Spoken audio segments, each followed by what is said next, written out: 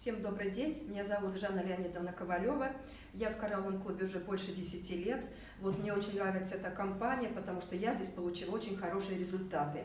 У меня была очень сильная аллергия на цветение пыльцы, особенно амброзии. И всегда в августе месяце, август и сентябрь, больше 25 лет я болела этим заболеванием. То есть у меня происходили тяжелые э, такие симптомы, такие как задыхание, я задыхалась.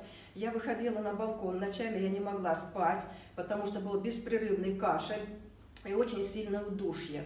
После того, как я попала в коралловый клуб, в общем-то, я прошла тестирование, узнала причины, почему у меня образовалась эта аллергия, что этому способствовало. Но в первую очередь я хочу сказать, что аллергия – это, конечно, и наша психология, то есть наши стрессы, наши переживания. Э, то есть кто-то нам не нравится, это психогенный такой фактор, кто-то не нравится, у нас может быть на какого-то человека аллергия, поэтому это тоже откладывается на нашем мышлении. Э, что я пропила для того, чтобы избавиться полностью от аллергии? Конечно, здесь нужна полностью сильная программа. Для того, чтобы очиститься от аллергии, нужна в первую очередь наша теплая коралловая водичка, потому что вода щелочная, она сразу выбрасывает все эти вредные, всю ту вредную пыльцу, которая попадает к нам в клетку. Я э, прошла тестирование и узнала причину, почему у меня аллергия. У меня были грибы там на различные сладости. Э, то есть и нужно было убирать, в общем-то, эту проблему, убрать эти грибы. Я пропила противопаразитарную программу. И не только противопаразитарную программу, после этого я еще почистила свой кишечник. Э, противопаразитарную программу обязательно должны входить такие продукты. Сейчас я вам скажу, назову их, да. Это обязательно лист черного ореха. Почему лист черного ореха? У многих детей и даже у взрослых аллергия возникает на почве того, что в организме у нас живут острицы. Острицы живут в кишечнике, это мелкие такие паразиты, и, в общем-то, они вызывают, в общем такое проявление сильной аллергии. Если человек не избавится от остриц, аллергия может продолжаться и могут искать причину, но не смогут даже ее найти. Поэтому в первую очередь надо избавиться от остриц. Второе, избавиться от грибов. От грибов у нас есть такая прекрасная программа, вы тоже знаете, наверное, все это коллоидное серебро, это наша кора муравьиного дерева. Кора муравьиного дерева натуральный антибиотик, то есть она воздействует, убивает все вредные в нашем организме, а коллоидное серебро, если там даже остались э, личинки паразитов, оно полностью растворяет вот эту хитиновую оболочку паразитов. То есть противопаразитарную программу я пропила.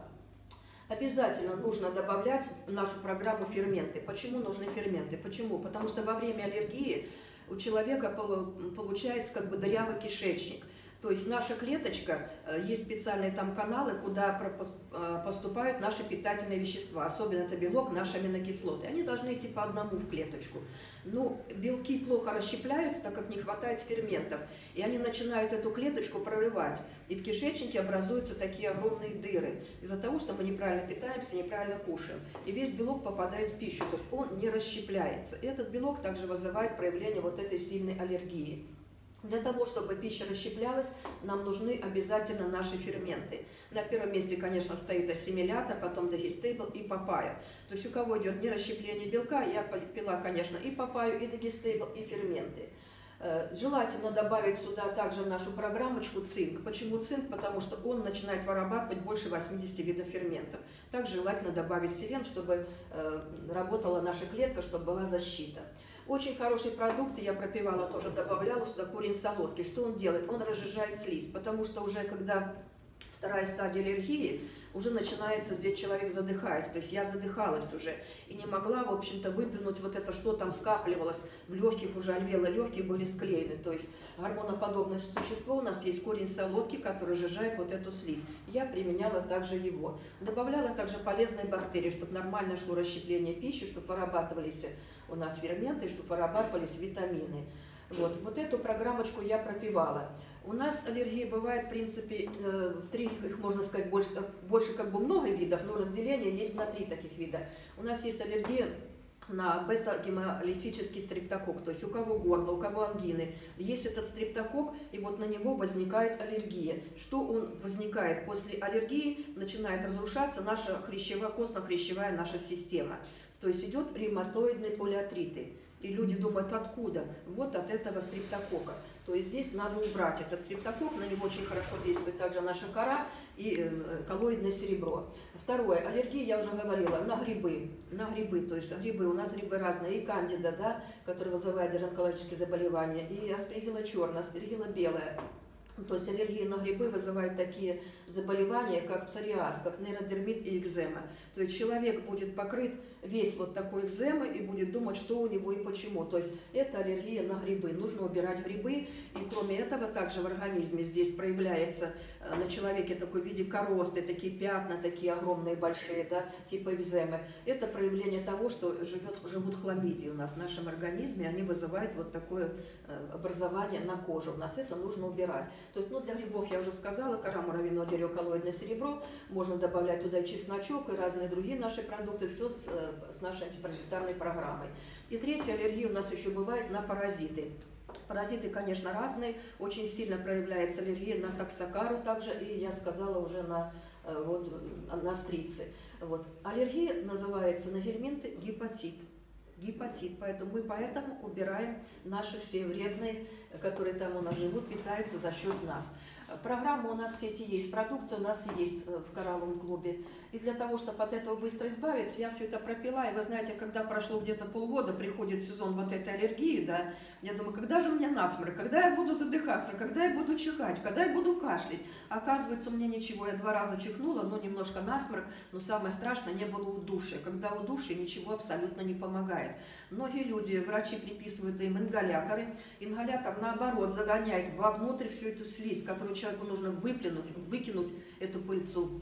А ингалятор загоняет глубже, в ртуть, в глубь, в луфик и в глубь. И с каждым разом потом становится еще хуже. Ну, в такие периоды, когда вот мы уже э, проходим э, полностью, прошли уже, можно сказать, наше вот такое вот восстановление своего организма, скорая помощь, вдруг там где-то насморк какой-то, кашель появился, удушье может быть, да, то для этого нужно обязательно применить омегу-360. Для чего нужна омега-360? В любом случае ее нужно применять, потому что это защита нашей клеточной мембраны. То есть пыльца в клетку абсолютно не поступает закрыта клеточная мембрана, пыльца туда не может прорваться. Я даже сейчас думаю, ну возьму, куплю себе, даже омегу взрослую не брала, купила детскую омегу, в принципе, детская омега, там одну капсулу, там какой-то один день было чуть-чуть так, смотрю, немножечко насморк, потому что я около речки походила, да, то есть омега моментально все блокирует. А молозиво поднимает иммунитет, то есть чтобы наши клеточки, там есть Т-киллеры, боролись с этими нашими врагами, которые у нас есть. Причин, конечно, много, поэтому нужно все это убирать.